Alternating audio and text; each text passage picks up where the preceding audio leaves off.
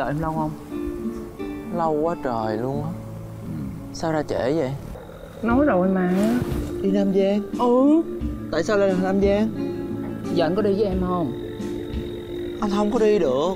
Sao lại không đi được? Anh còn cha còn mẹ nữa anh đi rồi. Anh, sao mà không đi được? Anh đi rồi nha đây ai lo cho cha cho mẹ anh? Trời ơi em đã nói với anh biết bao nhiêu lần rồi đó bây giờ á em muốn một cái đám cưới hoành tráng hơn tươm tất hơn.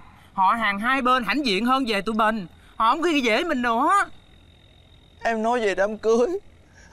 Vậy ở đây em đi rồi tôi cưới ai? Trời em đã nói rồi dời một năm Em chấp nhận mà Chứ có anh thôi à. Mình làm kiếm nhiều tiền để người ta không khi dễ mình. Sao anh không nghĩ vậy vậy?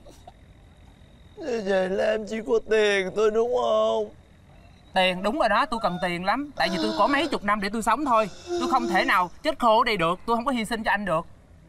Nếu mà anh không đi Mình chia tay Chấm dứt. Tôi tạm biệt anh. Nam! Em quyết định đi thiệt đúng không? Đúng. Vậy là em đi Nam Giang thiệt hả Mày có liếc không? Em đi Nam Giang em buôn lậu. Coi chừng công an bắt em đó. Tao buôn lậu hồi nào? Hả? Tao buôn lậu hồi nào mà mày nói tao đi buôn lậu? Trời ơi Em dám đánh tôi. Em hút trọn đời con trai của tôi bây giờ Tao hụt đã- mày hồi nào? Mày nói cái gì vậy? Em đánh tôi. Tạm biệt người đàn ông không? Hợp Trời ơi Người ta bạo hành tôi nè.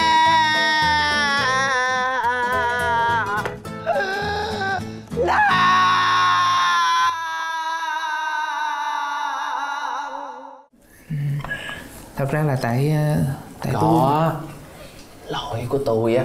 Của tôi. Bà này sao á, lỗi của tôi. Thật ra tại tôi cho nên là tôi muốn tới đây chỉ để là kiếm con tôi thôi.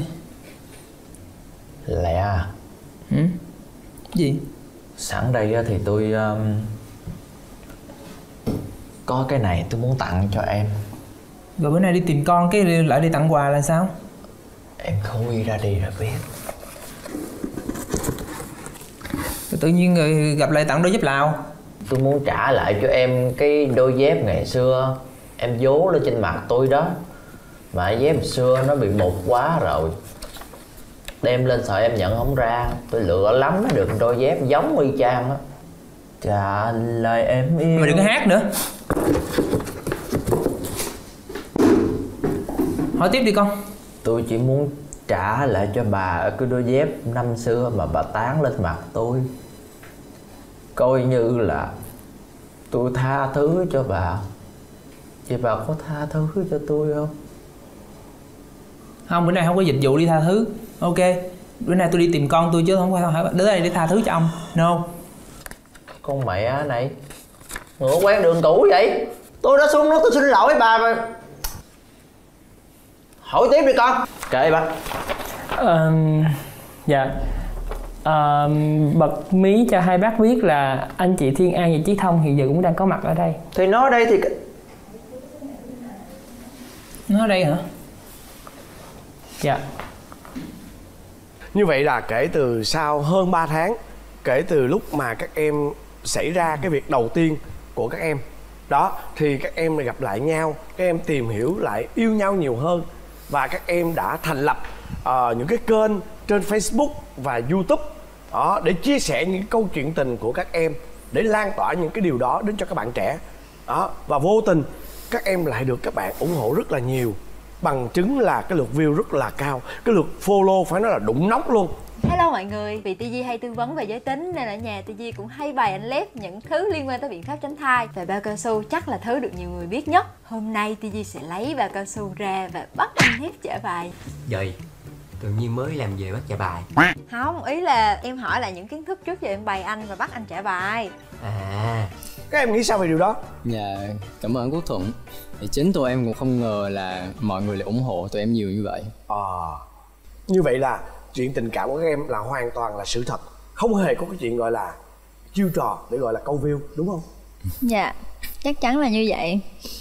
Ừm, Tụi em muốn chứng minh cho mọi người biết tình cảm của tụi em dành cho nhau là thật. Ừm, mặc dù chỉ là quen nhau qua một cái app hẹn hò nhưng mà qua thời gian thì tình cảm của tụi em đã lớn dần lên.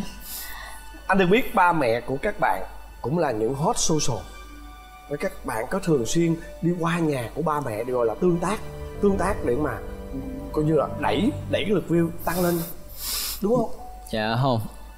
Khi mà ra khỏi nhà em block hết. Ủa sao tự nhiên block? Ừm, tụi em muốn tránh những cái tiêu cực và những lời lẽ không hay từ bố mẹ hai bên Ừm, ban đầu tụi em tính tự tổ chức đám cưới mà không có ba mẹ. Nhưng mà Anh Thuận biết không? Càng ngày á Em mới càng nhận ra được cái sự quan trọng Của việc chấp thuận từ hai bên gia đình. Ừm, Hôn nhân đến từ tình yêu của đôi lứa Thì cần thiết á Nhưng mà Nó chưa đủ.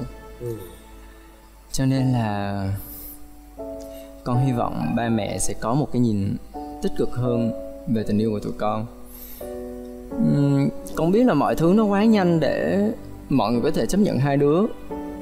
Nhưng mà nếu có cơ hội con vẫn hy vọng ba mẹ có thể cho tụi con một cơ hội nào đó cho gia đình chúng ta một cơ hội nào đó. Cảm ơn hai em đã chia sẻ những cái chuyện tình của hai em và quan trọng là hiện tại các em được nắm tay được hạnh phúc được bình yên như thế này. Thì đó là một điều rất là tuyệt vời. Và để chia sẻ với hai em thì à, anh thuận thay mặt chương trình sẽ mang đến cho hai em một món quà hết sức là bất ngờ.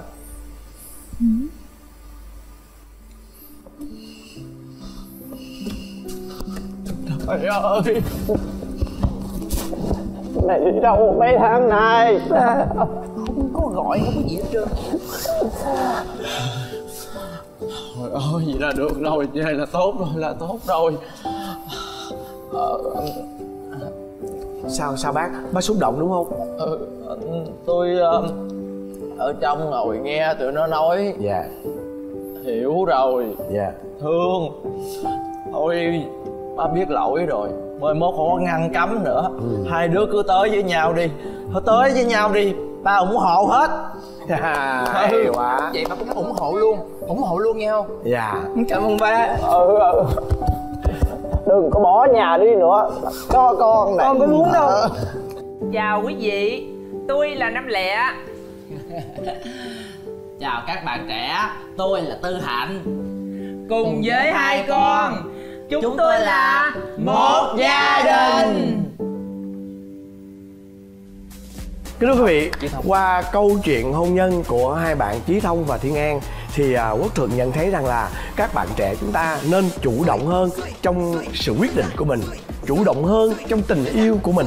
Đó, và người lớn cũng vậy, cần phải có thời gian và cần phải hiểu hơn về các con của mình và đặc biệt là làm sao để mà dán dán khéo khéo để giải quyết những cái chuyện riêng tư của mình cuối cùng cũng chúng ta đều mong rằng các con của mình phải thật sự là hạnh phúc nha.